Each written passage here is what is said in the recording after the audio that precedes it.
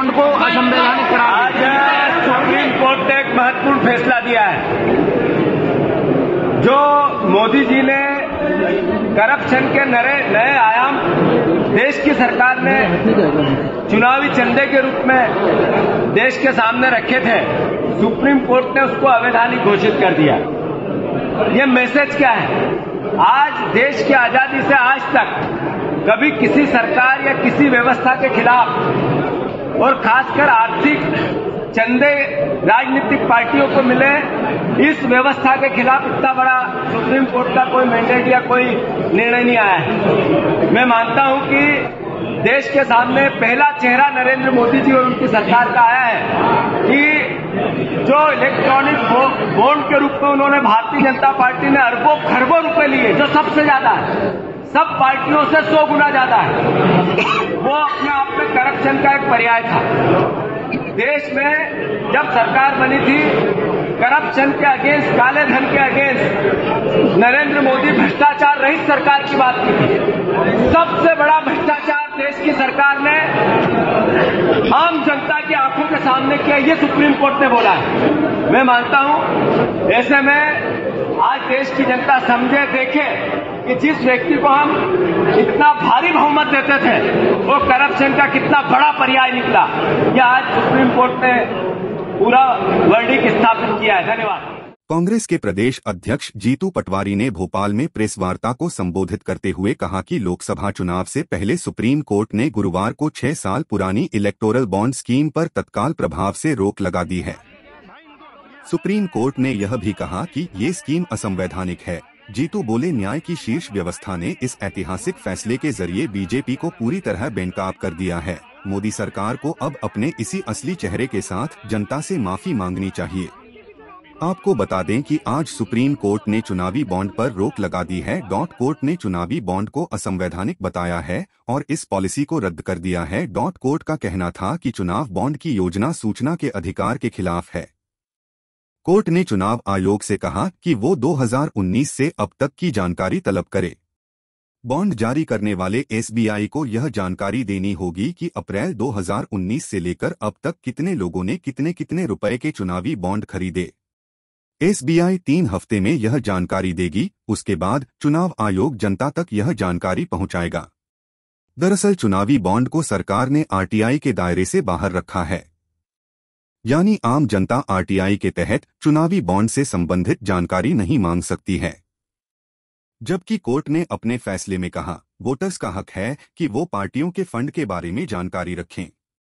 चुनाव आयोग को भी इलेक्टोरल बॉन्ड से संबंधित जानकारी वेबसाइट पर देनी होगी। सरकार की दलील थी कि इलेक्टोरल बॉन्ड के ज़रिए पॉलिटिकल फंडिंग में ब्लैक मनी और गड़बड़झाला रुक सकेगा, जबकि कोर्ट ने कहा, काला धन रोकने के दूसरे रास्ते भी हैं। फ़िलहाल, सुप्रीम कोर्ट के फैसले के बाद, अब चुनावी बॉन्ड को ना बैंक बेच सकेंगे और ना जमा कर सकेंगे। जिन बैंकों में किसी का खाता है, वे अब पार्टियों के खाते में चुनावी चंदा जमा नहीं कर सकेंगे। एसबीआई को राजनीतिक दलों द्वारा इनकैश कराए गए चुनावी बॉन्ड का विवरण प्रस्तुत करना होगा।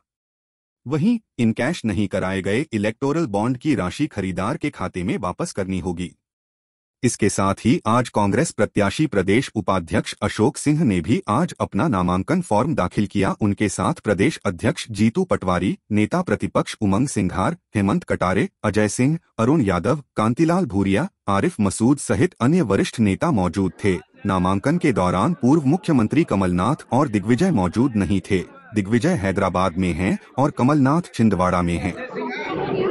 हमारे पीसीसी के पूर्व अध्यक्ष आदरणीय कांतिलाल भूरिया जी, हमारे पीसीसी के पूर्व अध्यक्ष आदरणीय अरुण यादव जी, हमारे सीएलपी के नेता आदरणीय उमंग सिंगार जी और तमाम हमारे वरिष्ठ सारे, हमारे सदन के सारे विधायक, कांग्रेस पक्ष के और कांग्रेस पार्टी के सभी सम्मानित या उपस्थित परिवारजन।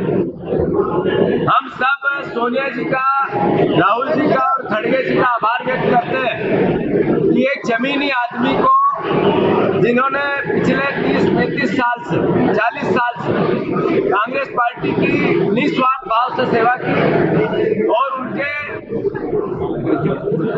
जो चार पीढ़ियों से कांग्रेस के प्रति उनके परिवार का जो लगाव है मध्य प्रदेश में छुपा हुआ नहीं है। ज़्यादा कुछ न बोलते हुए बस इतना ही अनुरोध करना चाहता हूँ कि पूरा विधायक दल, सारे हमारे सम्मानित परिषद सारे यहाँ उपस्थित नेतागण, सब एक साथ हम नेतृत्व का आभार करते हैं। जिन्होंने अशोक सिंह जी को जिस तरीके से राज्यसभा में भेजकर नेतृत्व करने का मध्य प्रदेश का अवसर दिया, मैं उनका सबका आभार व्यक्त करता हूँ। आदरणीय कमलनाथ जी का कल ट्वीट आया था। आदरणीय दिग्विजय सिंह जी के भी ट्वीट पे था। एक एक कांग्रेस का कार्यकर्ता, विधायक, नेता सर्वसम्मति से अशोक सिंह जी का चयन राज्यसभा के लिए हुआ।